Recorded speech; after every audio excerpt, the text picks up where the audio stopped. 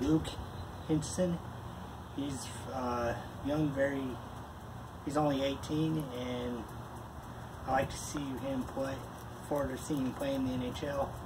He'll have a good season this coming season with the Seattle Kraken, and thanks for watching.